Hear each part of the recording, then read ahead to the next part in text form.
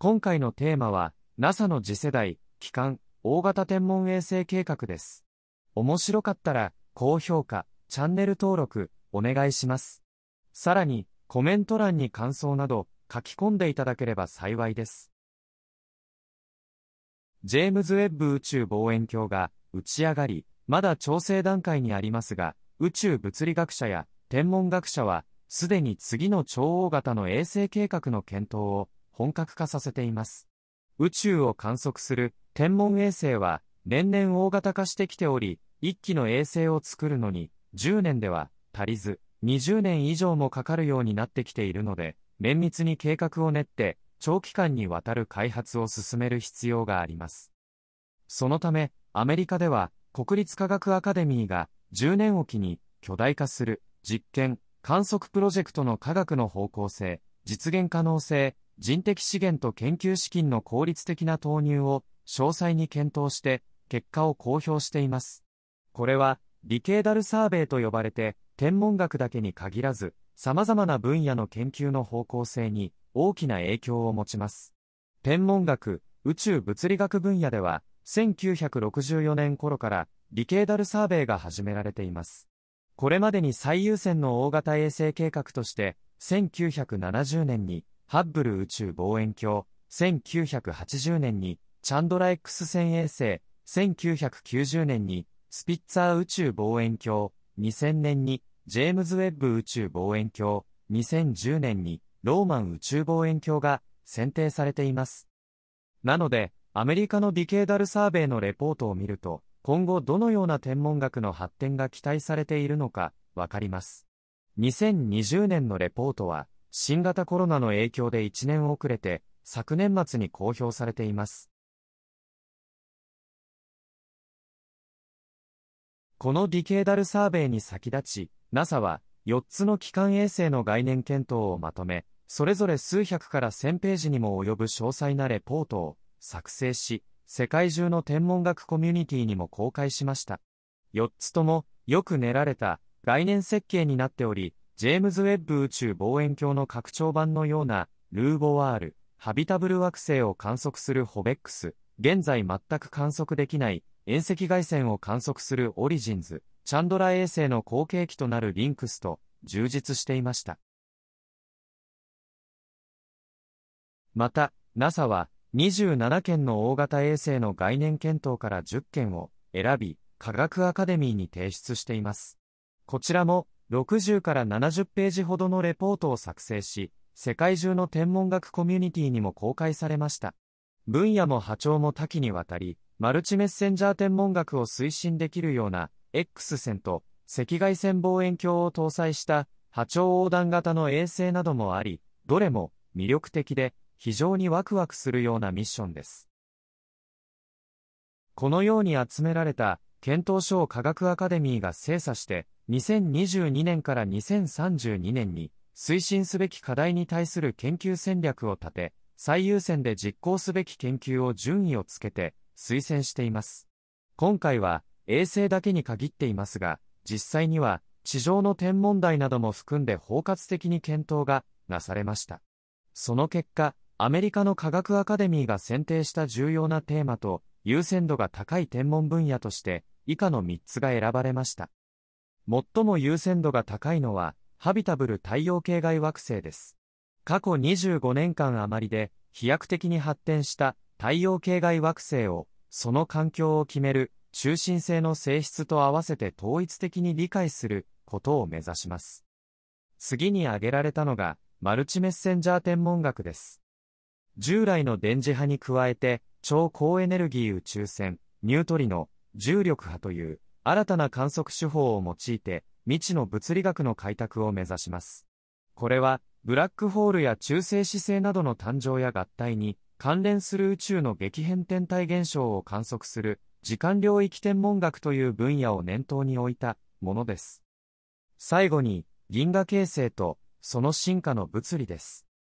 様々な時間及び空間スケールにわたる銀河形成と銀河における星、惑星形成の過程を理解することを目指します。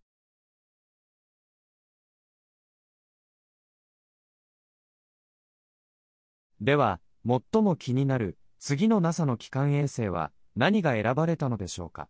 ちょっと拍子抜けするような結果となっています。提言されたのは、基幹衛星を目指して、実現性をまず詳細に検討しなさいということでした。2030年までにできるのかどうか見極めて、2040年代の打ち上げを目指すということです。まず、合計6メートルの紫外線、光赤外線望遠鏡を、その後に X 線と遠赤外線で基幹衛星を考えるという計画です。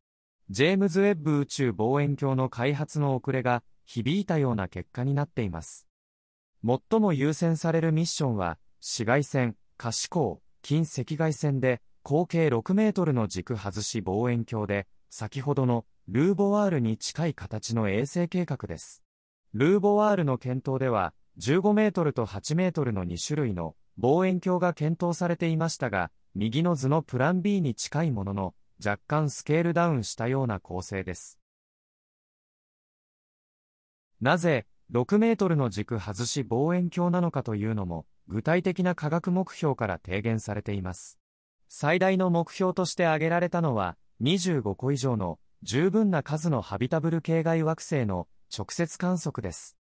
この図は、横軸に望遠鏡光景を示しており、左の縦軸が観測できるハビタブル地球類似惑星の期待値です。合計6メートルの軸外し望遠鏡であれば、25個程度の直接観測が期待されています。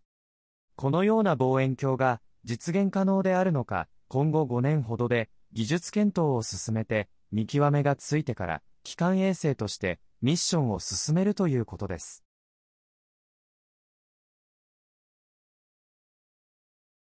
では、大型計画は何か選ばれたのでしょうか？こちらも、具体的なミッションの候補からは選ばれていませんでしたが、これまでになかった基幹衛星とエクスプローラという中型計画のギャップを埋めるために、10年に1機程度、大型衛星を進めるという提言でした。優先度の高い分野として、日本が計画して中止となったスピカ衛星のギャップを埋める遠赤外線の衛星もしくはヨーロッパ宇宙機関が進めるアテナ衛星と双方的な X 線のミッションのどちらかということになりました。遠赤外線の観測は、この図のように、ジェームズ・ウェッブ宇宙望遠鏡とアルマ望遠鏡が観測するちょうど間にある波長帯になります。黄色の網掛けの領域です。横軸が波長で、縦軸が感度です。ハーシェル衛星の運用が終わっているので、現在のところ観測できる装置は飛行機を使ったソフィアしかありません。オレンジの OST という線は、基幹衛星の候補として検討されたオリジンの期待値です。X 線の場合は、2030年代に予定されているアテナ衛星は、分光に力を入れており、画像のシャープさは、チャンドラ衛星よりも劣ります。そこで、NASA の大型衛星では、この欠点を補うような高画像解像度の計画が望まれています。あくまでも科学アカデミーからの提言ではありますが、すでに NASA は大型衛星計画の選定作業を始めています。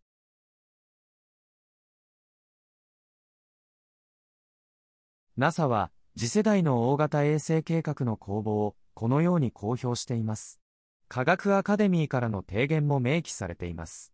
意外と思われるかもしれませんが、天文衛星の計画も科学者自体がエンジニアを含めて計画して提案して作り上げられていきます。トップダウンではなくて、ボトムアップです。このタイムラインでは、2024年初頭までに2から3の候補に絞り、競わせることによって、検討を先鋭化させます。